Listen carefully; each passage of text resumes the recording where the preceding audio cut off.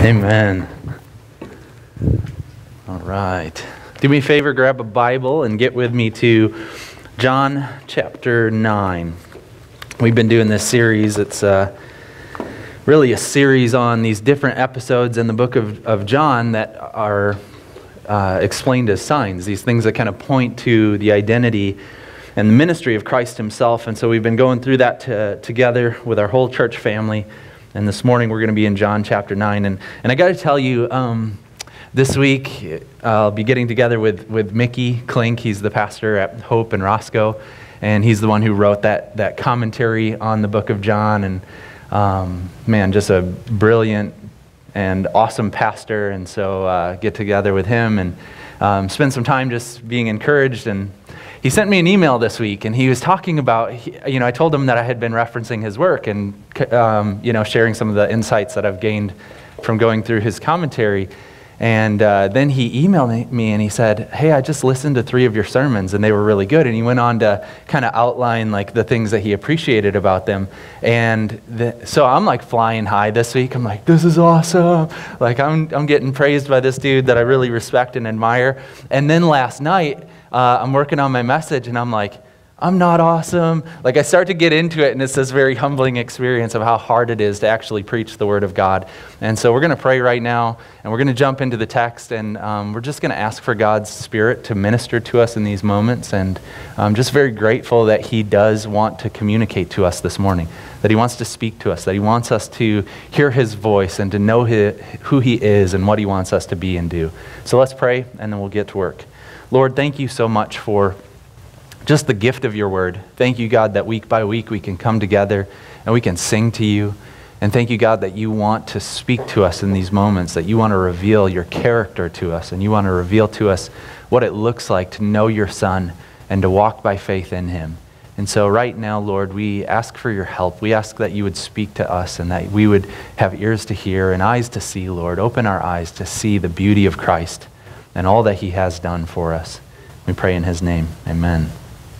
All right, so John chapter 9 is um, pretty lengthy. There's 41 verses there, and so I thought it'd be helpful to, to divide it up into these three different scenes if we kind of look at it in three different parts. And so the first scene uh, is, is there in verses 1 to 12, and it's the, the um, event of the healing. It's this, you know, the, the retelling of this event where Jesus heals the man. And so let's look at that together.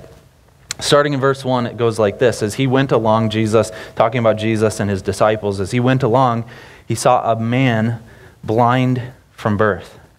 His disciples asked him, Rabbi, who sinned, this man or his parents, that he was born blind? So they're traveling along, and right away there's this man who kind of shows up on the scene, and he's a man who cannot see. And so the disciples ask a very um, thick theological question Hey, what's going on here? Did this man sin? Did his parents sin? And um, Jesus is going to speak into that. And he says in verse 3 Neither this man nor his parents sin, sinned, but this happened so that the works of God might be displayed in him. As long as it is day, we must do the works of him who sent me. Night is coming when no one can work. While I am in the world, I am the light of the world. So he's kind of describing, Jesus is describing what he has come to do and this work that he is committed to. And then it says in verse 6 After saying this, he spit on the ground, made some mud with his saliva, and put it on the man's eyes. Go, he told him, wash in the pool of Siloam. This word means sent. So the man went and washed and came home seeing. Um, incredible, right? I mean, can you imagine never having seen before? And for the very first time in your life, being able to capture everything in front of you. To not have that sense, and then all of a sudden to be able to fully appreciate the, the beauty of sight and all that God has done. And, and that happened as a result of this healing that Jesus has done for him. But there's a surprising result to it. In fact, many people cannot get their heads around it. Look at verse 8. His neighbors and those who had formerly seen him begging asked, Isn't this the man who used to sit and beg? And some claimed that he was. Others said, No, he only looks like him. But he himself insisted, I am the man. How then were your eyes open? They asked. He replied, The man they called Jesus made some mud, put it on my eyes. He told me to go to Siloam and wash, so I went and washed, and then I could see. Where is this man? They asked him. I don't know, he said. So there's a few different lessons that we can learn from this first scene. Um, And, and we'll take them one at a time. But the first lesson that I see here is, is regarding suffering. Um, the, the whole entire story is kind of prefaced by this reality that there's a man who is born blind, and the disciples are curious what's going on here? Who sinned? Was it him or was it his parents? I mean, why is it that this man is born with this deformity, with, that, with this inability to see things? And, and, and honestly, that's often how people approach suffering. Uh, it makes a lot more sense for us if we can justify why somebody is suffering the way that they are. And so we have this tendency to look at the brokenness in the world and to try to figure it out. What did they do, or what did somebody else do that resulted in their experience of suffering? Um, if you remember, if you ever read the book of Job, that's exactly what's going on in that book. Job was a man of God who was faithful to him, and he had a lot of resources, a lot of stuff. And as we come to find out, he loses all of that and he's broken over that, and his friends come and they sympathize with him. But then what do they do? For chapter after chapter after chapter, they try to get him to confess that he did something that resulted in his loss. They tried to get him to, to just admit, you are a sinner, and so God is punishing you. And over the course of the entire book of Job, we, we learn about the faithfulness of Job and the stupidity of how we often approach people who are suffering and, um, and we, we see, and if you read the book of Job, you, you recognize there's way more going on than um, this man being punished for, for sin. It's not, it's not that simplistic. But we still do that. When we find somebody suffering, we want to be able to explain why it's happening. And so we're tempted to say, well, I, they must have done something deserving of this. But the reality is, as Jesus points out here, it's way more complicated than that. Now, we can't get into the entirety of how to, how to deal with suffering in our world, but we need to at least say this. There is no straight line that you can draw from what somebody has done sinfully and their experience of personal suffering. Jesus doesn't allow that. It doesn't work like that. You can't just say, you, you know, somebody did something, therefore their suffering mirrors whatever sin it was that they committed. That's not, a, not at all how it works. And we need to hear that because often we're going to find in, in our life experiences where we see a good person who is going through some sort of tragedy, and it would be very naive of us to try to say they must have done something wrong. Uh, the reality is that we live in a, in a fallen world, and there's brokenness everywhere. And, and it affects all of us. And sometimes it affects people who definitely don't appear to deserve it um, that, that have not done something that warrants their own experience of that personal suffering. So we have to have compassion. And here's, so I can't answer that question, and I don't think Jesus really does here as either, but here's what we can say. Often suffering becomes an arena for God's glory. And we see it here where Jesus said that, that God's glory might be displayed in this man. That the works of God, this happened so that the works of God might be displayed in him when you find suffering, your prayer should, should be God, use this as an opportunity to display your glory. Use this as an opportunity to show off your incredible work. And, and let that be a, a foretaste of what you're one day ultimately going to do, where you're going to undo the effects of the curse. And there will be no more suffering or pain or death or sickness because the old order of things is going away. So, the first lesson that we see here is regarding suffering, and it's just this reality that it is a complex and mysterious thing, and we should be, as Christians, we should be people who are hopeful that God will use whatever suffering we find in the world as an opportunity to display His glory. Here's the second thing that we should learn from this first scene, and it's just that, that there is a work of God that's being done um, Jesus in, in verse 4, he talks about how he has come to do this work. As long as it is day, we must do the works of him who sent me. Night is coming when no one can work. Jesus is going about this incredible work of displaying the light of, of God himself to the world. And he is engaged in that work. He has been sent for that very purpose. There is a work of God to be done. And, um, and so we need to recognize that God is working presently but also recognize that if you're a Christian, you are co opted into that mission. And uh, look at it, he actually says it in the plural. As long as, as long as it is day, we must do the work of him who sent me.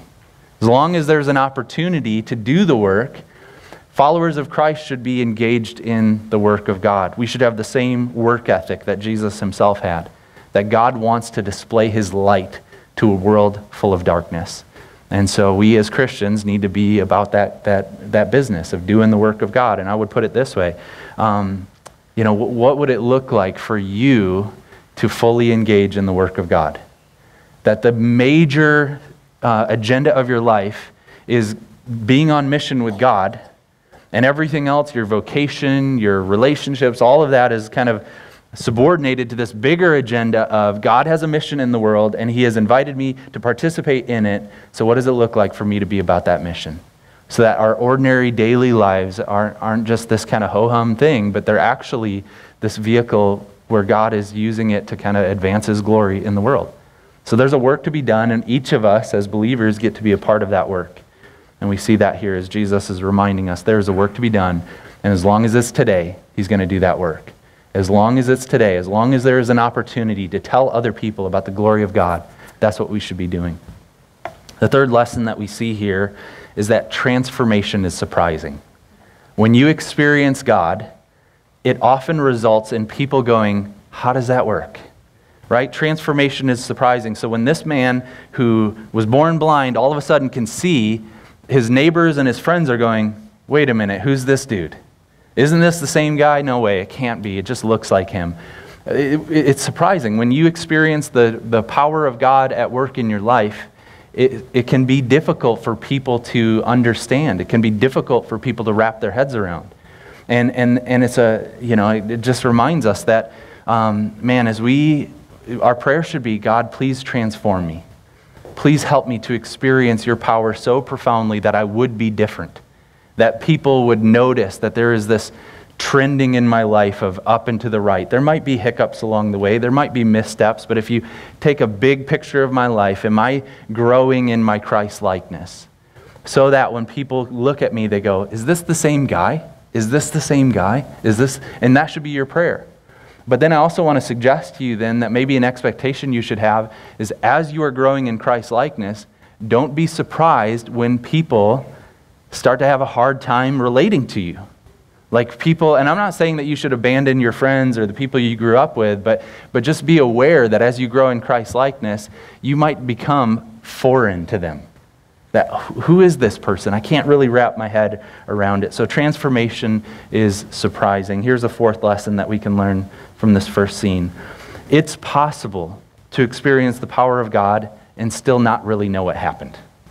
It's possible for you to experience the power of God and still go, I don't know.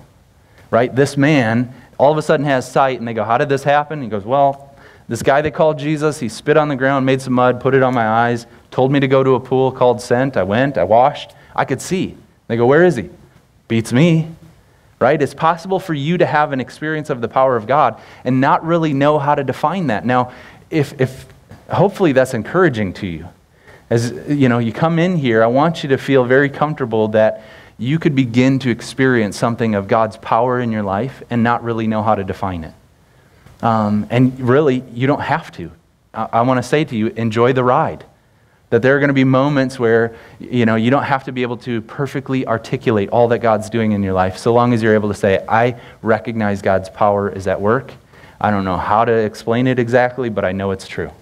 And that's a part of the process. This man goes from um, being blind to having sight, but we see this kind of long range process where God is drawing him toward this experience of saving faith.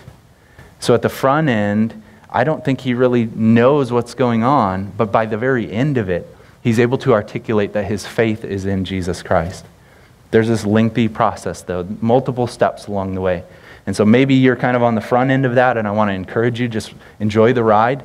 Um, but if you've been at this for a long time and you're part of our church, I want to say we have to make sure that this is a safe place for people wherever they're at in their journey of faith to come in and have the opportunity to have more and more experiences of encounters with God so that one day eventually they could place their faith in Him and, and um, be confident in that. So it's a process. Um, and it can have multiple phases. So, in the first scene, we, we learn these different lessons. We learn about suffering, we learn about the work of God, we learn about God's transforming power, and we learn that, that, um, man, that there's this process of how God does that. Let's look at the second part of the story, and this is the interrogation. It goes a long ways, it's verses 13 to 34. but it's the, the part of the story where the, the Pharisees now are going to ask a bunch of questions to try to sort this thing out. So the first interrogation is of the man himself. Look at verse 13 and following. They brought to the Pharisees the man who had been blind. Now, the day on which Jesus had made the mud and opened the man's eyes was a Sabbath. Therefore, the Pharisees also asked him how he had received his sight. He put mud on my eyes, the man replied, and washed, and I, I washed, and now I see. And some of the Pharisees said, This man is not from God, for he does not keep the Sabbath. But others asked, How can a sinner perform such signs? So they were divided. So there's an, this interrogation. Hey, what, what's going on here? What happened? And, and we come to find out that it happened on a religious day. And so they're trying to figure out can we really ascribe to this man that it's a godly work that he's done? Because it seems to us that he's operating outside of the standards of God. Um, and so they're interrogating him and they're trying to figure out what's going on, and they can't really make much out of it. In fact, they're divided. Some of them are going, Well, how did it work? How was there such a powerful display if he's not from God? And some of them are going, But yeah, listen, he's breaking the rules of God. So finally, they just ask the man flat out, What do you think? Verse 17, they turned again to the blind man. What, what do you have to say about him? It was your eyes that he opened. And the man replied, He's a prophet. The man recognizes this is, this is God at work. This is a representative of God, clearly. And he ascribes to him, this is pretty incredible what's going on. This is, this is a mouthpiece of God. And, and you know, that's not satisfactory, though, for the Pharisees. They're having a hard time wrapping their hearts around this reality. And so they engage in a second interrogation, and this time it's, it's with the parents. Verse 18 and following. They still did not believe that he had been blind and had received his sight until they sent for the man's parents. Is this your son? They asked. Is this the one you say was born blind? Blind? How is it that he can now see? So they're going to question mom and dad, and they're basically saying, hey, is this legit? Is this for real? Is, was this man really blind at birth and now he can see? And they, they reply this way We know he is our son, the parents answered, and we know he was born blind. But how he can see now or who opened his eyes, we do not know. Ask him. He's of, he's of an age, he will speak for himself. His parents said this because they were afraid of the Jewish leaders who already had decided that anyone who acknowledged that Jesus was the Messiah would be put out of the synagogue.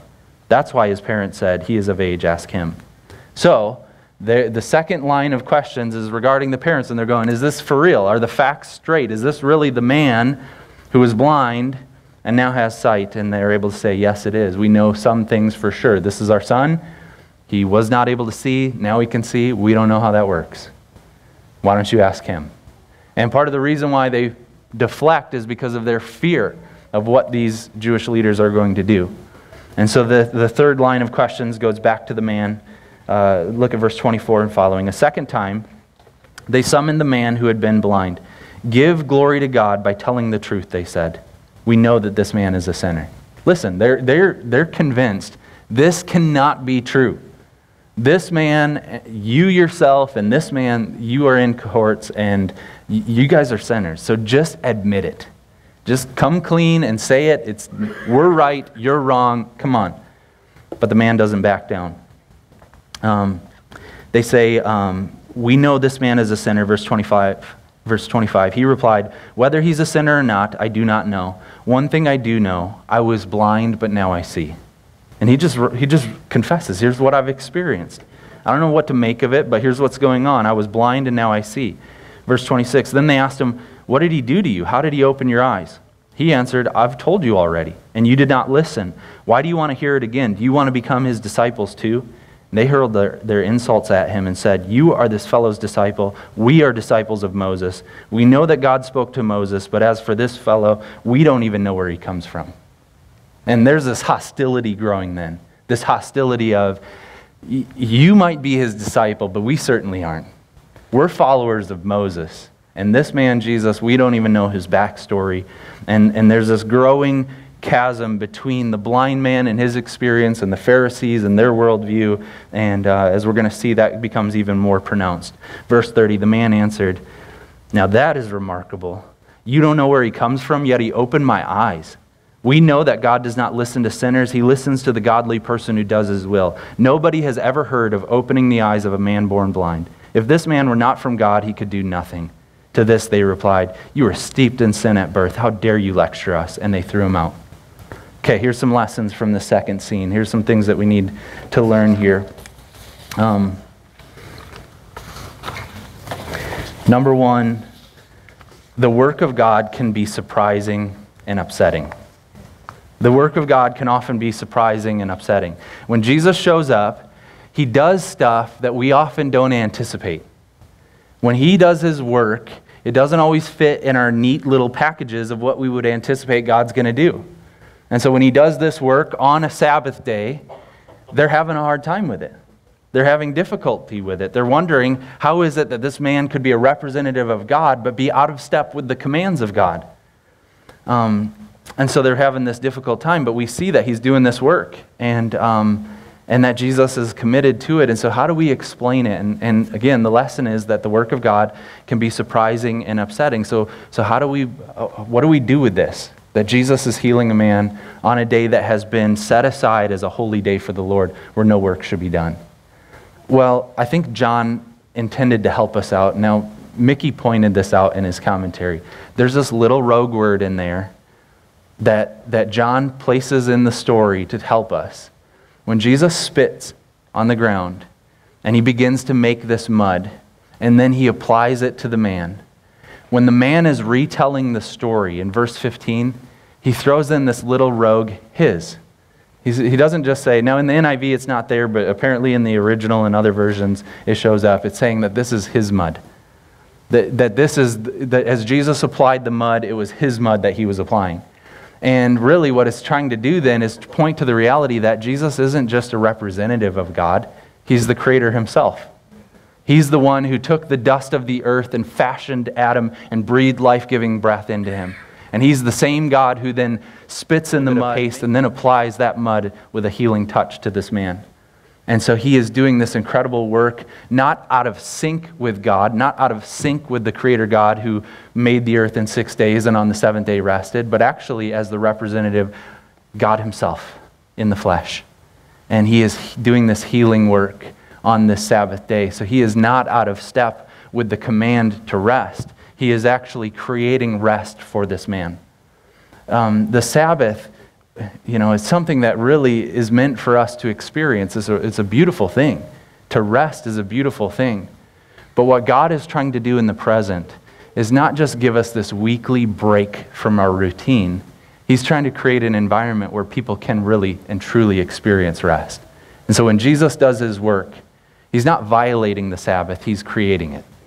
He's trying to help this man and other people then to get to this experience where they get to experience rest eternally with God. And, and, so for us, we need to recognize that, that this story is pointing to this greater reality that the work of Christ presently continues on, but ultimately one day we will get to experience the beauty of rest with God.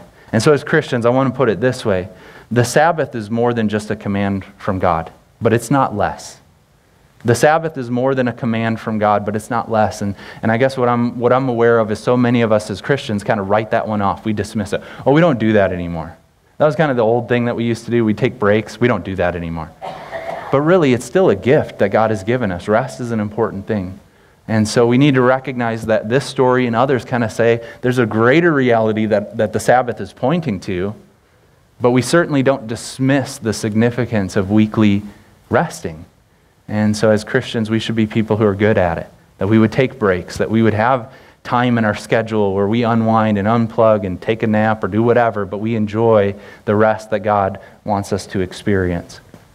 So, the work of God can be surprising and upsetting because sometimes it doesn't make sense to us. But here's the second lesson that we learn here that we should expect social pressures.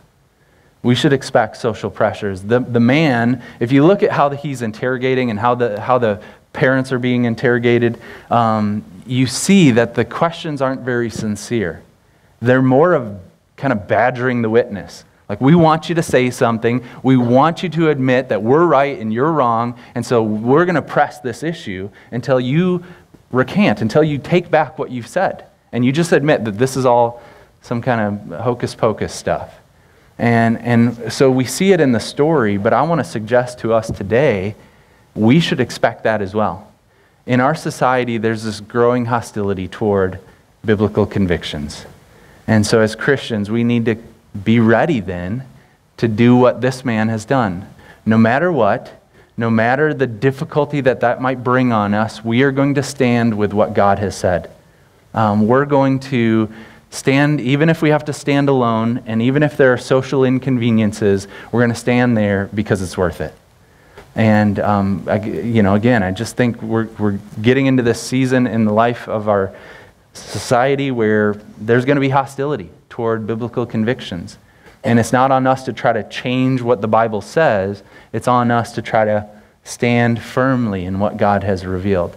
And I guess, you know, today is actually Reformation Sunday, and it's the 500th anniversary of the Protestant Reformation. And so I'm going to tell a little illustration here, and I didn't, I don't have it in my notes, and I didn't write it down, so it might get sketchy. But um, as far as I remember it, and I have a pretty faulty memory, uh, Martin Luther, when he posted kind of what he was committed to on that door, when he was saying, Here's what I believe God is saying, and the, the powers that be came to him and they said, Take it back, dude. You better take this back. And what did he say? My conscience is, is on. Here's what's going on. I am convinced by what Scripture has said. And my conscience then is bound to what Scripture has said. I can do nothing else. Here I stand. And we need to be the kind of Christians who do the same thing. That when we are convinced, according to the scriptures, of certain things, regardless of what that might look like, even if we're put out of these different things that we, that we love to be a part of, like this, this family being put out of the synagogue, even, even if it gets incredibly difficult for us, we should be able to be like Martin Luther, who's, who's able to say, My conscience is bound to what the scriptures say, and I'm convinced of it. I can do nothing else. Here I stand, no matter what. Um, and, and, I hope that you're ready for that. I hope that you're ready for that sort of uh, pushback against some of the things that I think that the Bible says very clearly. Uh, we should expect social pressures. That's the second lesson here. But here's the third one. We need to be careful of our blind spots.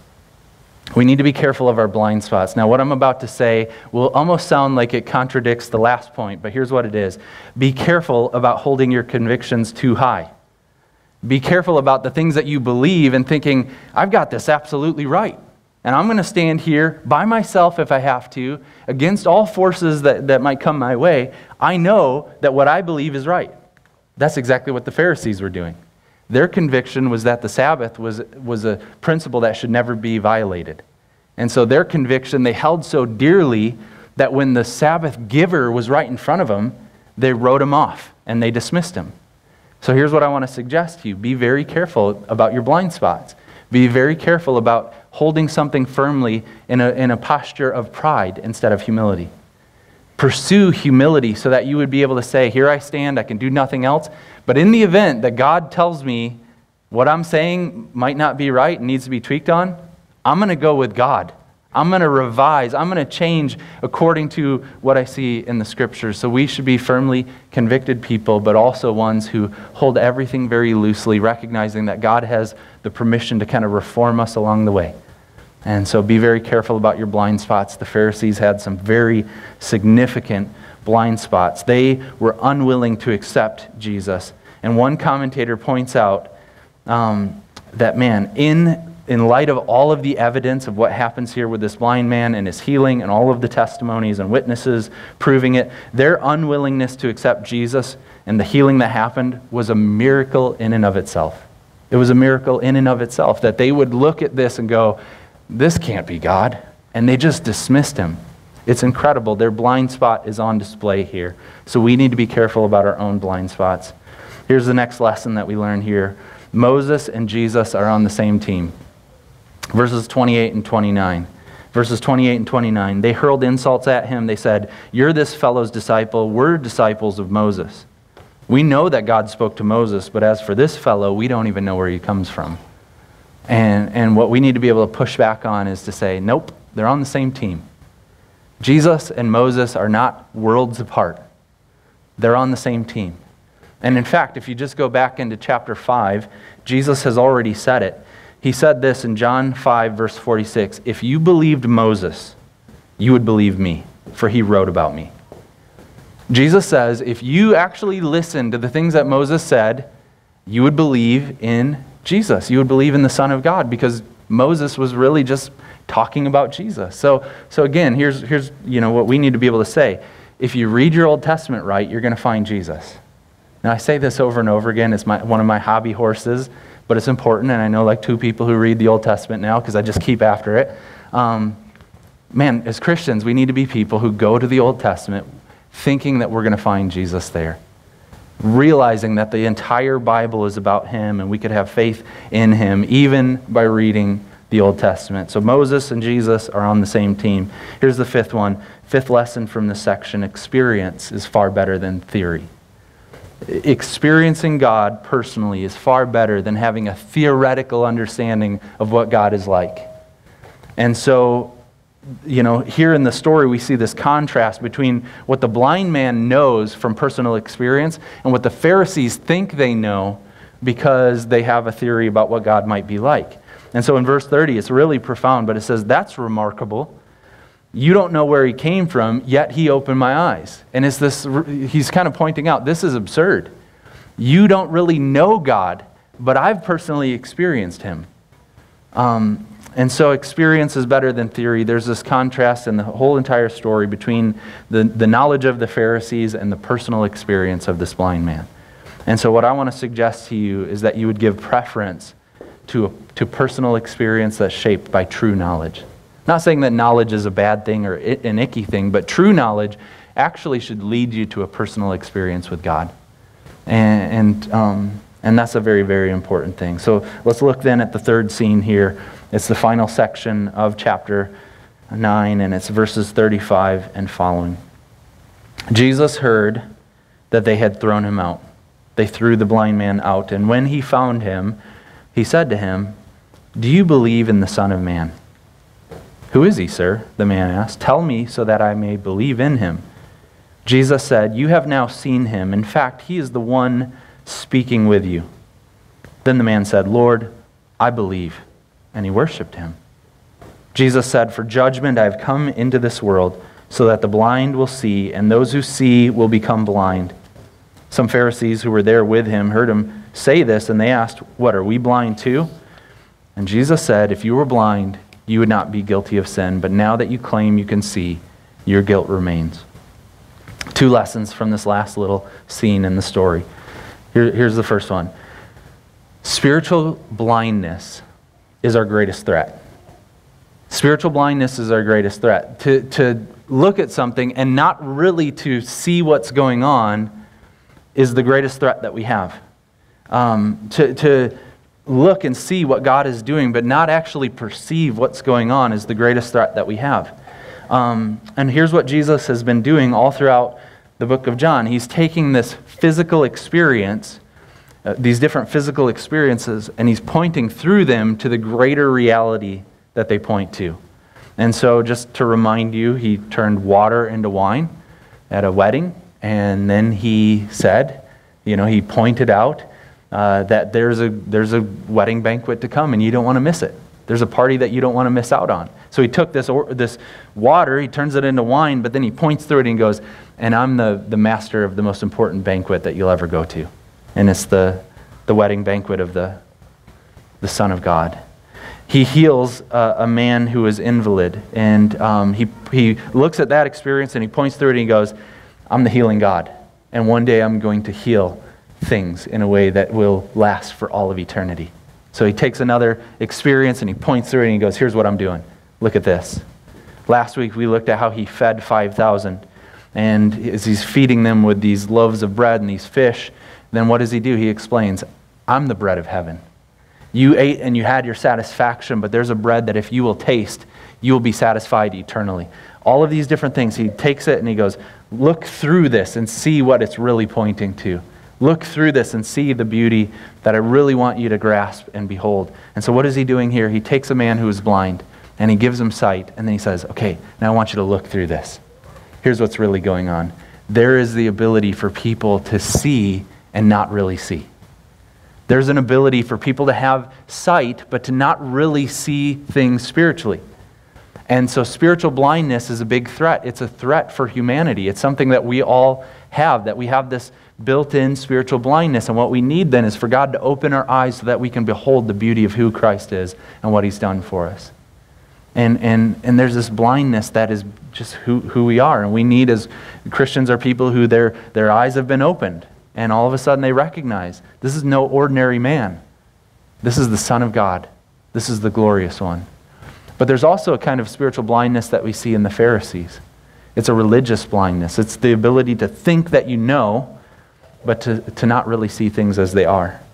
And um, if that's the greatest threat that we have, spiritual blindness, and we need our eyes to be opened, what do we do? Okay, how do we get spiritual sight? How do we get this sight that Jesus is, is offering to us? It's there in verse 41. Here's what we need to do we just need to admit that we can't see very clearly. Okay? So if you, if, if you realize your, your sight is failing and you just pretend, no, I'm good. I can, yeah, I can see. We're good. And you just keep squinting and, you know, keep doing what you can to try to perceive things as they are. For you to actually be able to see, what do you have to do? You have to admit there's a, a lack of sight there, and then you go to the doctor and they do different things and, and hopefully help to restore sight. The same thing is true on that spiritual front. What we need to do is admit that we can't see as we should.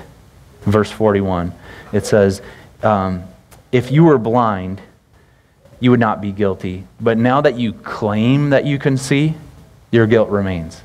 That's the problem. It's when we just think we don't need any help. We can see things clearly. So, in order to get spiritual sight, here's what we do we admit that we can't see. We go to God and we say, you know what? I need help. I can't see as I should. Um, so, spiritual blindness is our greatest threat. Here's the second and final lesson from this story today spiritual sight is this it's seeing Jesus for who he is, it's believing in him as Lord and Savior, and it's worshiping him. Look again at verses 35 to 38 the experience of the man when he finally gets to see his Savior. Jesus found the man and he said, Do you believe in the Son of Man? Who is he, sir? The man asked. Tell me so that I can believe in him. Jesus said, You have now seen him. In fact, he's the one speaking with you. The man said, Lord, I believe. And he worshiped him. That's what Christianity is all about. It is, it is seeing Jesus for who he really is recognizing this is the Son of God, this is the Savior of the world. It's believing in Him, it's seeing Him and then going, so I'm throwing my entire hope into Him. I'm placing my faith in Him. I believe in Him for my salvation and, and my hope of glory. And it's worship. It's worship. It's not just kind of nodding your head at Him. Yeah, that's what Christians do. We believe in Jesus. But it's recognizing that if you really believe in Him, it changes your heart. It makes you worship Him, it makes you adore Him, it makes you treasure Him.